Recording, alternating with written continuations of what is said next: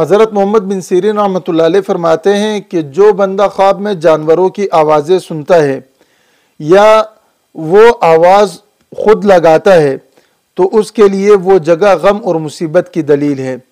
और अगर देखे कि उसको किसी दूर जगह से आवाज़ देते हैं तो अगर उसने जवाब दिया तो दलील है कि जल्दी मरेगा। और अगर देखे कि जवाब नहीं दिया है तो दलील है कि बीमार होगा। और अगर देखे कि रोने की आवाज़ आती है तो दलील है कि खुश होगा। और अगर देखे कि उसने नाला सुना है तो दलील के कोई नाखुश बात उसके पास पहुंचेगी, जिससे वो रंजीदा होगा। और अगर ख्वाब में देखे कि जारी की आवाज़ सुनी है तो दलील कि उसकी मुराद पूरी होगी और दुश्मन पर फतह पाएगा। और अगर गाली की आवाज़ सुने तो उसको मकरू बात पहुंचेगी और वो बात जल्दी उसके ज़िंदगी से ज़ायल हो जाएगी, ख़त्म हो जाएगी।